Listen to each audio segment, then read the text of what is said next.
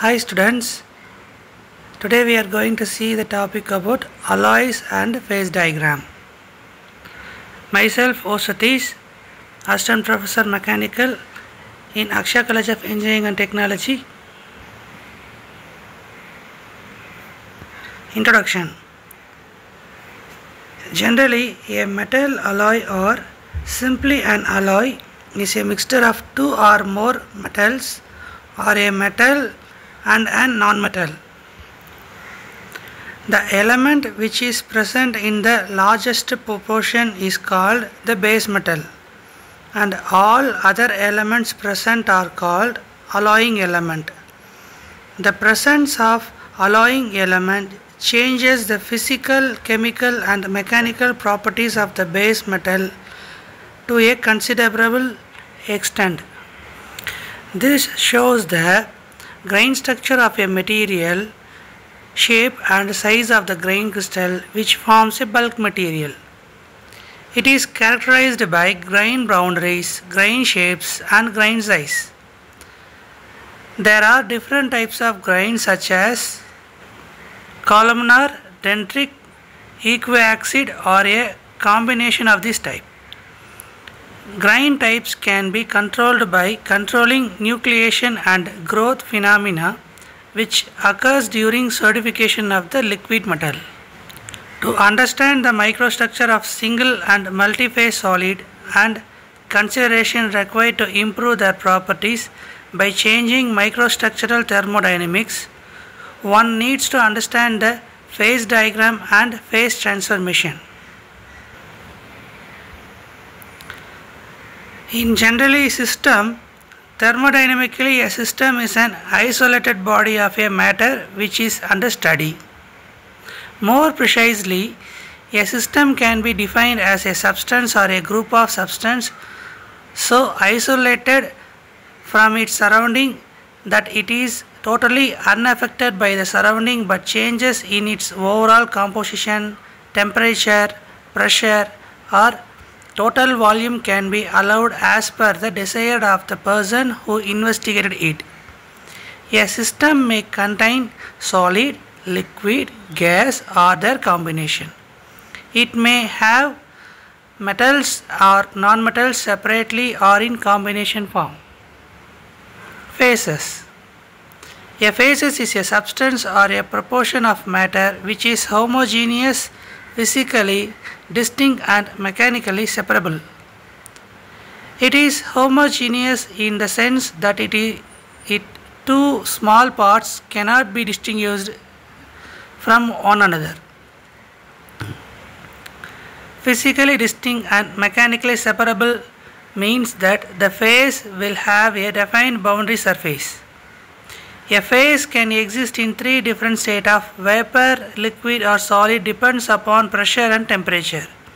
Different phases are given different names or symbols like alpha, beta, gamma, etc.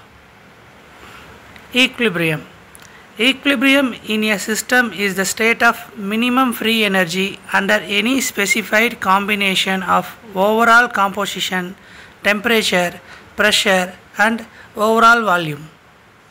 Once equilibrium is achieved, even a minor change in their parameters of composition, temperature, pressure, volume or state of any substance which in the system means an increase in free energy. Degree of freedom. It is also known as variance of system. It is defined as a number of external or internal factors of the system that can be independently changed without altering equilibrium, that is, without causing disappearance of the phase or formation of a new phase in the system. Structural constituent Phase distribution in a system is not necessary uniform throughout the structure. These phases are associated in different way to form the structure. This association of phases is recognizable. Distinct fashion is referred to as structural constituent of the alloy. Here we can able to see one cooling curve As an example, differentiate between the time versus temperature. A method to determine the temperature at which phases changes liquid to solid or solid to liquid occurs in an alloy system consisting of the following temperature as a function of time as different alloys in the system are very slowly cooled. The data obtained in the manner forms a cooling curve for each of the alloy. In this phase diagram we can be able to see the time temperature difference of the series of cooling curves for different alloys in a completely soluble system both in liquid and solid state. Here A represents percentage A and percentage B. Once here 180, 60, 40, 20, 10. In another percentage B 0, 20, 40, 60, 80, 100. This creates a phase diagram of a two metal completely as a solid solution alpha, solidus line in the red color, black color liquidus line above the region liquid solution in between the curve which creates a path which is in a form of liquid plus solid solution alpha. Interpretation of phase diagram. Here we can see a picture as we see in this previous phase diagram here the following three conclusions are the rules necessary for the interpreting phase diagrams the phase that are present the chemical composition of each phase the lever rule the amount of each phase Gibbs phase rule also one of the important consideration while we are studying about the phase diagram. Gibbs phase rule establishes the relationship between the number of degree of freedom, the number of component, the number of phase, P plus F is equal to C plus 2. Classification of equilibrium diagram. Equilibrium diagram may be classified according to the relationship of the component in the liquid and solid state as follows components completely soluble in the solid state, components particularly soluble in the liquid state, components completely insoluble in the liquid state and completely insoluble in the solid state. Two metals completely soluble in the liquid and solid state. Here we can able to see bismuth as an example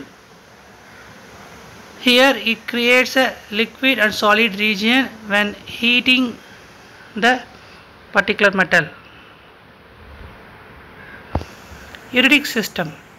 In an eutectic reaction, when a liquid solution of fixed composition solidifies at a constant temperature, forms a mixture of two or more solid phase without an intermediate phase T stage. This process reverses on heating liquid when we are heating two solid regions we get again when we are cooling it we are getting the same as a reverse in this eutectic system there is always a specific alloy known as eutectic composition that freezes at lower temperature than all other compositions. Here we are going to see bismuth cadmium equilibrium diagram.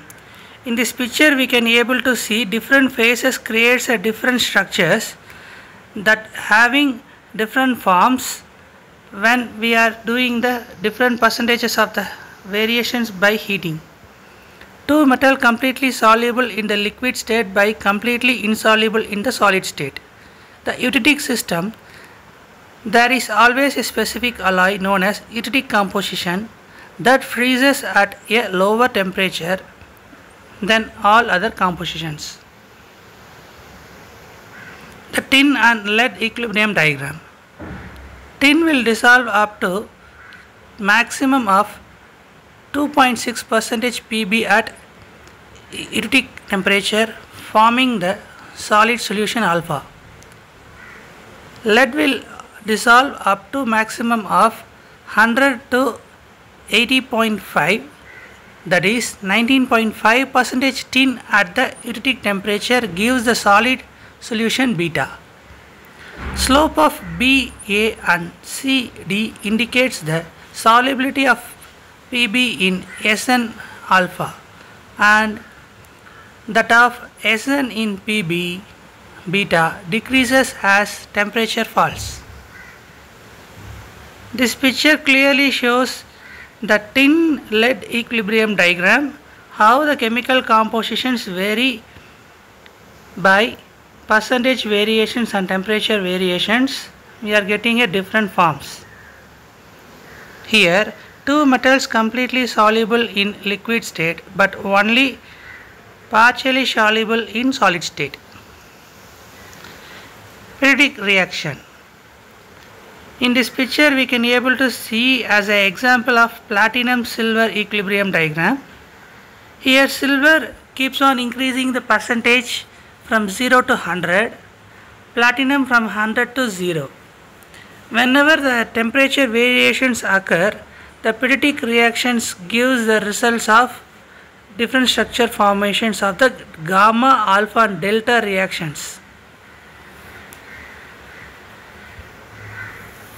Eutectoid reaction. Unlike eutectic and peritectic transformation, eutectoid involves a solid to solid transformation. Eutectoid reaction is a isothermal reversible reaction in which one solid phase transforms into two intimately mixed new solid phase upon cooling. One solid is in a irreversible formation of giving another two types of solids. In this image we can able to see the eutectoid reaction gives two different phases of alpha plus beta mixture. Peritectoid reaction. Peritectoid reaction is a isothermally reversible reaction in which two solid phases transforms into a third solid phase upon cooling. Here two solid phases gives a, another type of third solid. This is a peritectoid upside down eutectoid. Peritectoid system are found in NiZn combo, FN NB combo, Cu SN combo, NiMO combo and many other systems for examples. Today we discussed about phase diagrams, different structures and formations. Thank you.